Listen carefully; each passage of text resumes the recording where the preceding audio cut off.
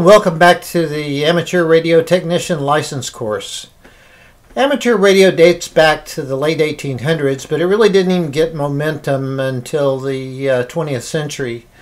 Um, as amateur radio operators, we have consistently made contributions to science, engineering, industry, and even social services.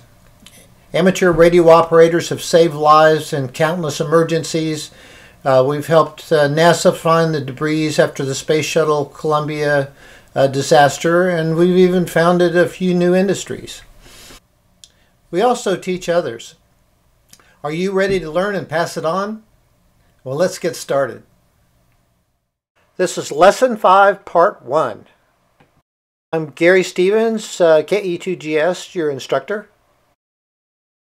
Lesson 5 covers electrical principles.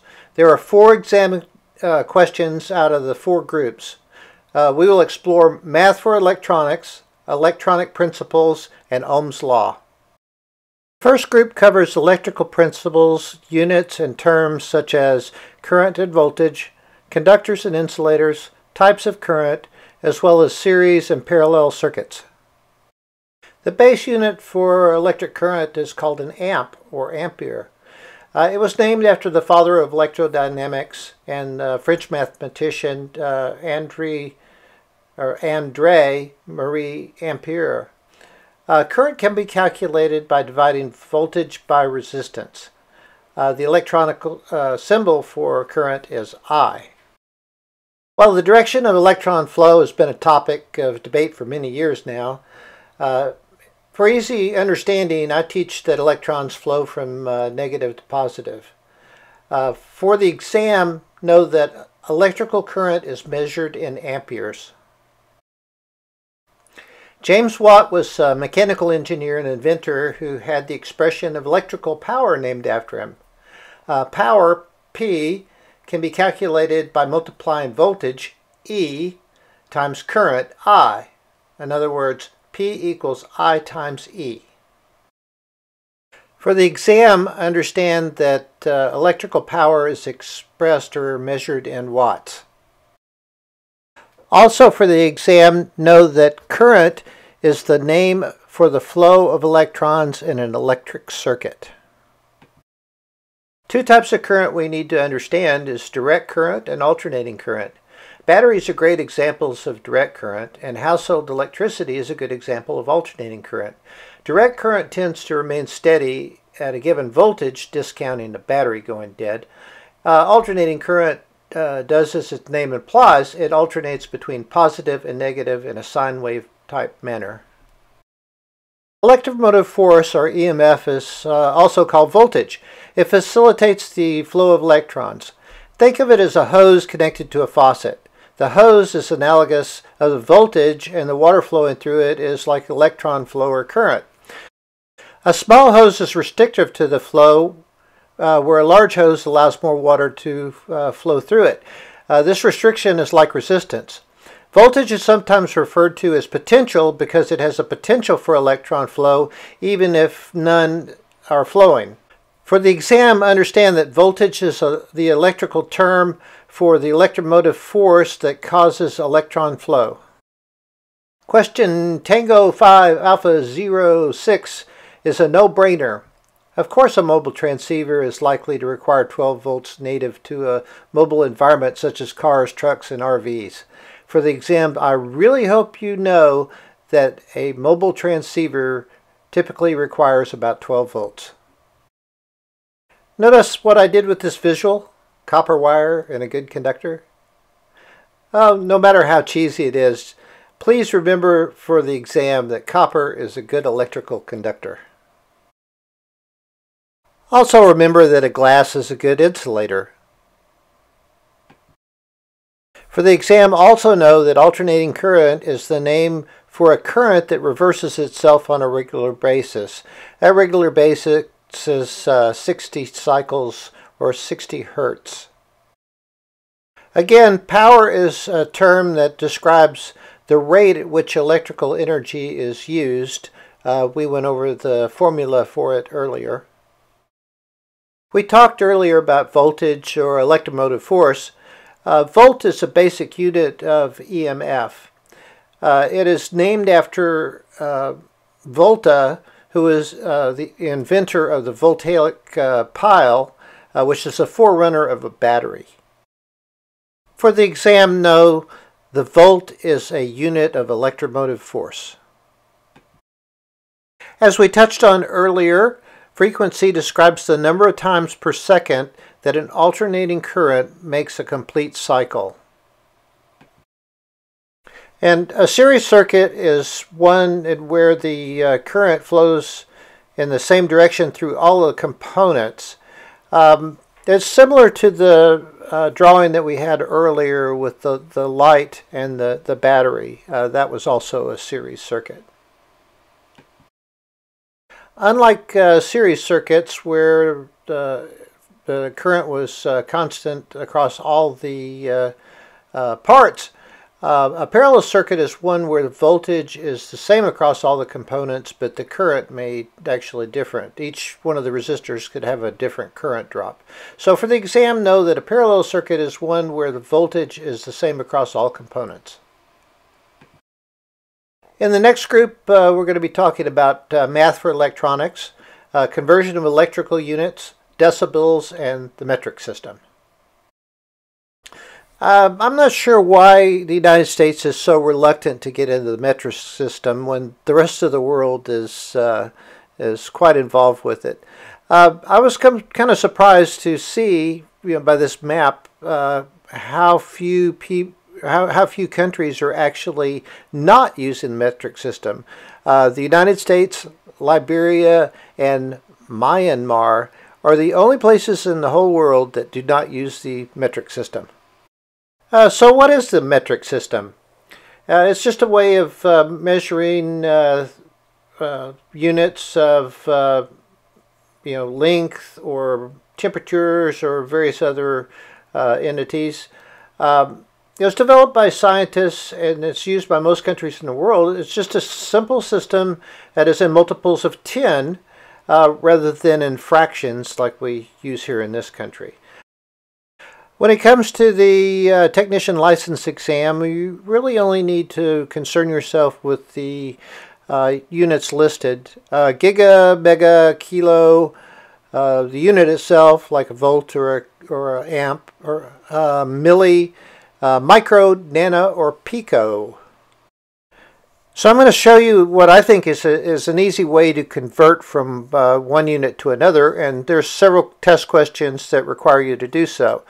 Um, it requires knowing that a unit is 10 to the 0 power, uh, kilo 10 to the third, mega 10 to the sixth, giga 10 to the ninth, uh, milli 10 to the negative third power, micro to the negative sixth power, nano to the negative ninth power, and pico to the negative twelfth power. So suppose we wanted to uh, create a volt to a microvolt. So basically all we need to do is move the decimal six places to the right.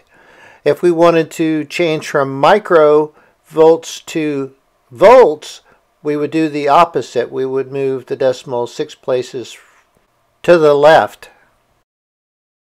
So to convert uh, 1500 milliamps to uh, amps, just move the decimal place uh, three places to the left.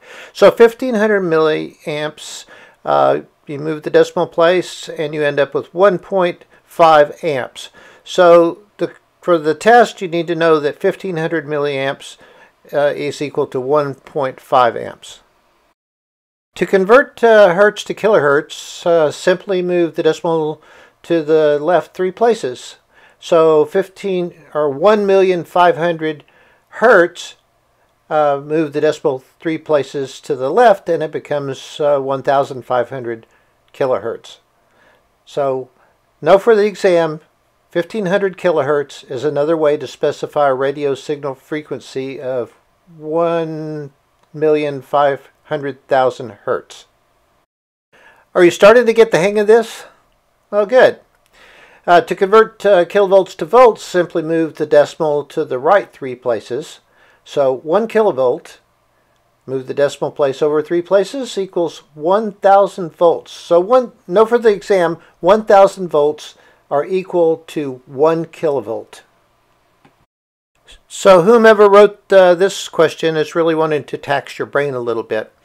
So to convert from microvolts to volts, simply move the decimal place to the left six places. So one microvolt, move it over six places, turns out to be one millionth of a volt. So for the exam, no one millionth of a volt is equal to one microvolt.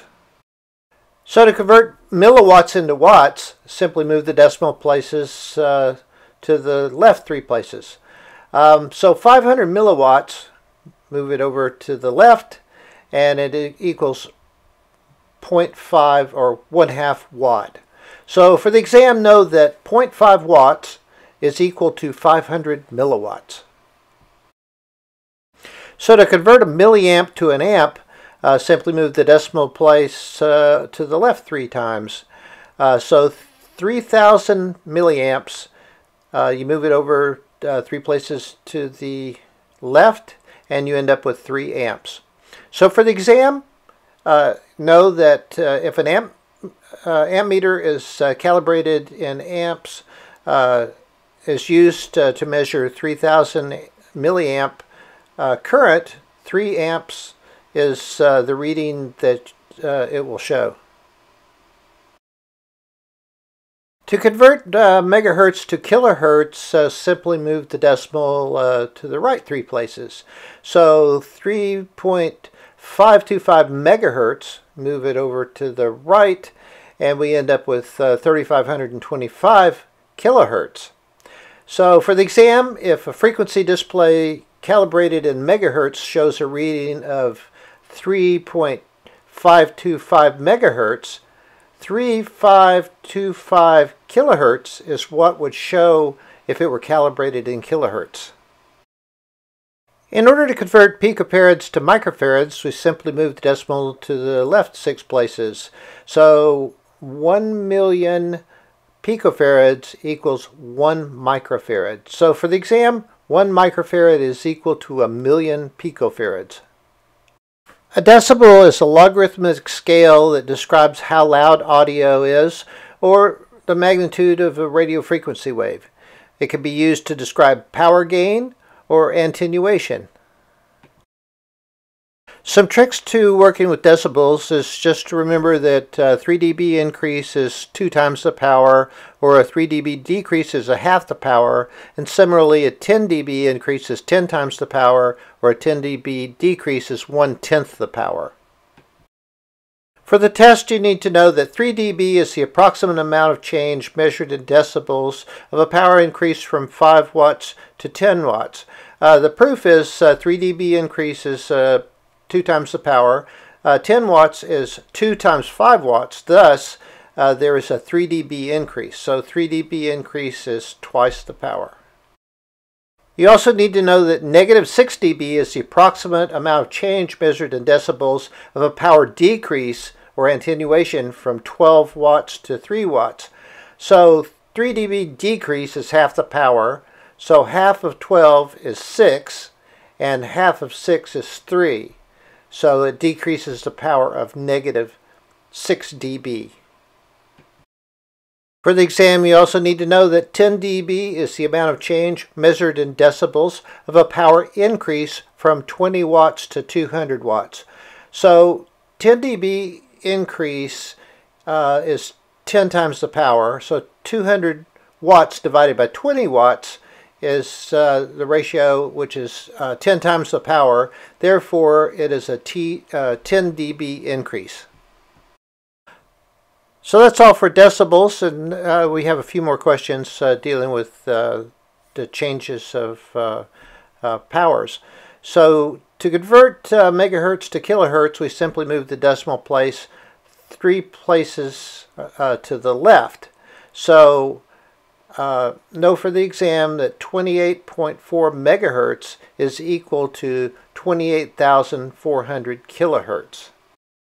So the last uh, slide is to convert uh, megahertz to gigahertz, simply move the decimal to the left three places. So 2425 megahertz becomes 2.435 gigahertz. So on the exam, if the frequency display shows a reading of 2425 megahertz, 2.425 gigahertz is the frequency in gigahertz.